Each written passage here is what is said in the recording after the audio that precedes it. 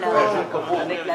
Avec les comédiens. Avec le Sato et les caramels. Oyez, messieurs, dames, place Le gouverneur du Château d'If vient inaugurer l'hôtel de Bossé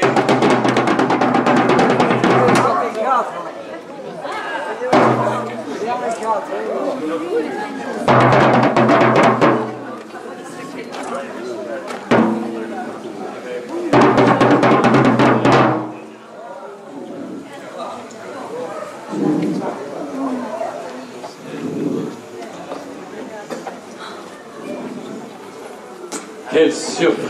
et quelle joie, monsieur le gouverneur et mon cher oncle, de vous voir en ce jour de grande festivité au pied de cette demeure tant chargée d'histoire pour notre famille.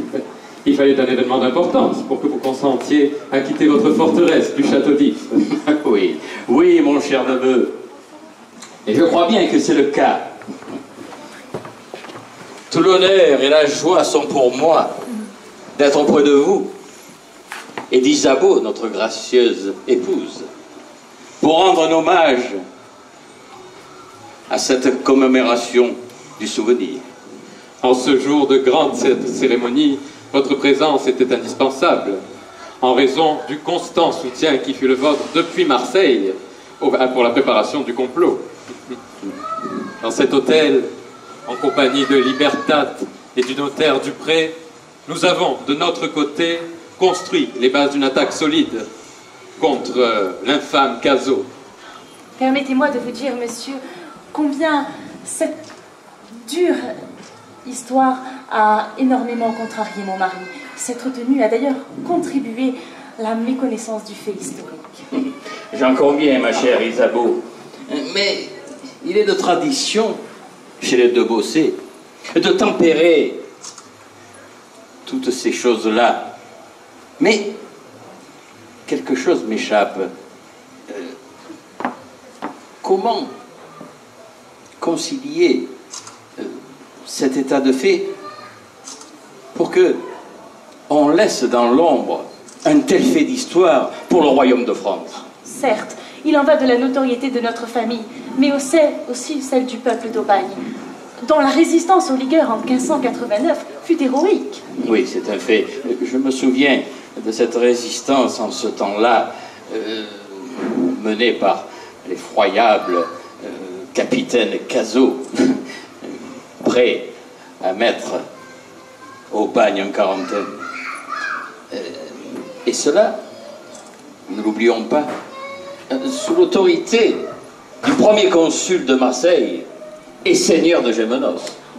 Oui, et, l'on se souvient à quel point Aubagne a résisté de toute son ardeur combative pour faire face derrière ses remparts renforcés et parvint même à faire replier l'ennemi. Oui, on se souvient du récit rapporté de la résistance euh, soutenue par hum, le valeureux capitaine Motet. Mais, hélas, ce dernier ne put empêcher les troupes marseillaises de, contre le ligueur de vin euh, empêcher tous ces pillages dans la ville, et ce pendant huit jours. Vous témoignez donc, monsieur, que notre cité est toujours restée loyale au roi de France, et ce, dans, dans le plus grand esprit de sacrifice. Oh, J'aime entendre de tels propos, sachez-le. Mon cher Nicolas, mon époux, nos enfants devront se souvenir de ce fait de gloire dû à nos chers concitoyens. Je suis d'accord avec vous, ma chère Isabeau. Ce fait de gloire que vous relatez est en conforme, est en toute conformité avec l'esprit qui anima notre ardente volonté de rendre à Sa Majesté le roi Henri IV la totale allégeance de Marseille au roi de France. Oui, une allégeance dont il revint la charge de l'expression en présentant les excuses du peuple de Provence à Sa Majesté pour avoir tant tardé à le rejoindre. Alors, mon cher Nicolas, je vous en prie, commémore-moi cette euh, rencontre avec Sa Majesté Henri IV à l'été 1596. Ce fut, il est vrai, mon oncle, une journée d'une exceptionnelle grandeur. Quelques membres du Parlement d'Aix et moi-même avons été conviés chez, euh, avec le roi et le sieur du verre dans un salon de la bonne vieille ville d'Amiens le 7 juillet de cette année-là. Et euh,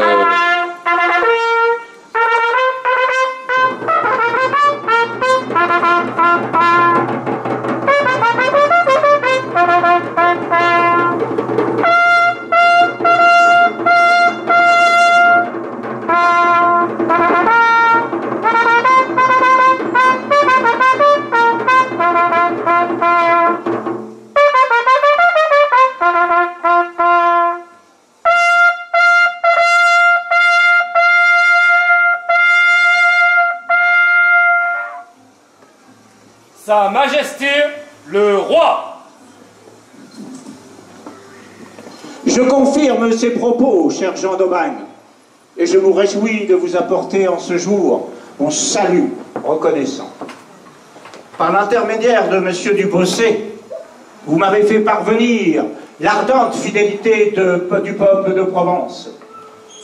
Votre représentant au Parlement d'Aix m'a relaté le fait de guerre qui a conduit au ralliement de Marseille à la couronne et m'a permis de devenir pleinement roi de France. J'ai pu exprimer ma gratitude au capitaine Pierre Baglione dit Libertat, mais le temps m'a manqué pour me rendre sur les lieux mêmes où naquirent les dessins de cette audacieuse entreprise. J'ai donc pris la décision d'être parmi vous en ce jour, au sein même de cette demeure devenue un symbole pour l'histoire de mon règne et celle de la France. Ma présence va dans le sens de cette mise en valeur que je souhaite aussi honorifique pour votre ville que pour les deux fleurs de lys qui ornent son blason. Jean d'Aubagne, festoyez en ce jour, mes vœux les plus chaleureux vous accompagnent.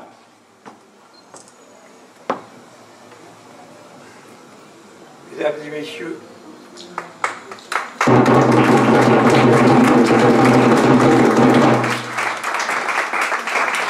Mesdames et messieurs, vous venez de le constater, les personnages se sont figés, car euh, il est, il est temps pour eux de regagner le lointain territoire céleste.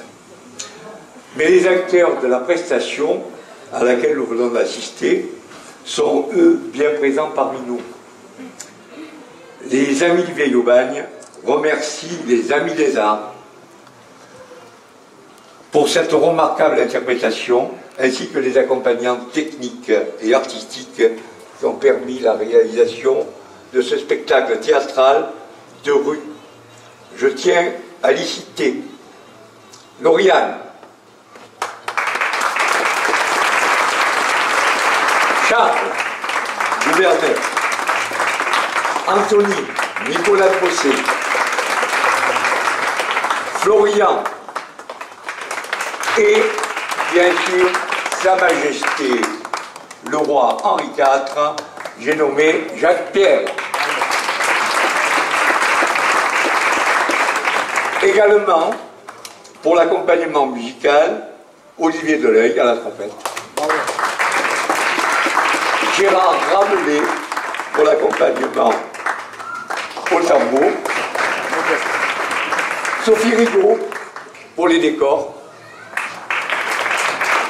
Et Dominique Arnaud pour les costumes.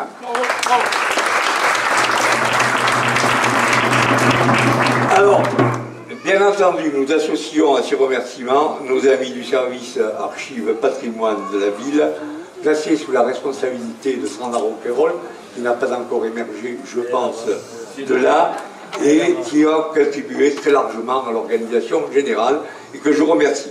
Merci de vos applaudissements.